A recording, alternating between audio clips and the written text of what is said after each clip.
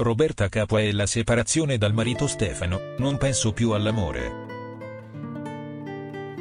Roberta Capua rompe il silenzio sulla separazione dal marito Stefano Cassoli. Una delle conduttrici tv più apprezzate, Roberta Capua, ha deciso di aprire il suo cuore nella trasmissione Storie di donne al bivio condotto da Monica Setta, che andrà in onda sabato 17 febbraio su Rai 2 dalle ore 14.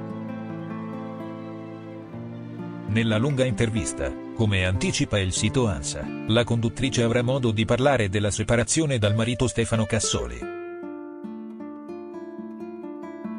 La storia d'amore si è conclusa dopo la morte dei suoi genitori e in quel frangente, come aveva spiegato nel salotto di Silvia Toffanin, si era ritrovata da sola proprio nel momento di massimo bisogno.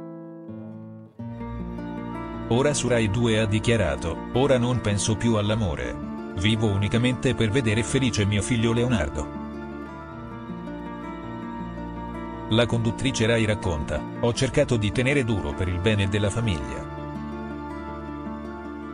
Quando una donna decide di separarsi non lo fa mai a cuor leggere, si spera di poter salvare la famiglia fino alla fine, ma poi bisogna guardarsi allo specchio e capire che nella vita l'importante è essere felici e perseguirla nel miglior modo possibile, con forza, tenacia, senza mai arrendersi. Roberta Capo ha raccontato che ho cercato di tenere duro per il bene della famiglia, ma non è stato possibile.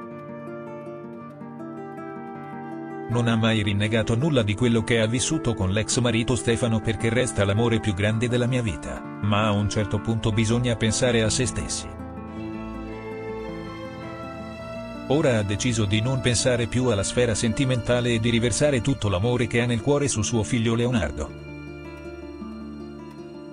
Roberta Capua ha vissuto un periodo difficile, la morte dei genitori e la fine del matrimonio.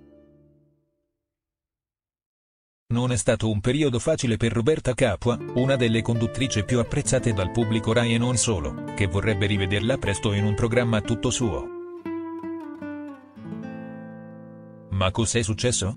Di recente sono morti i suoi genitori e poi si è separata dal marito consensualmente nel novembre scorso.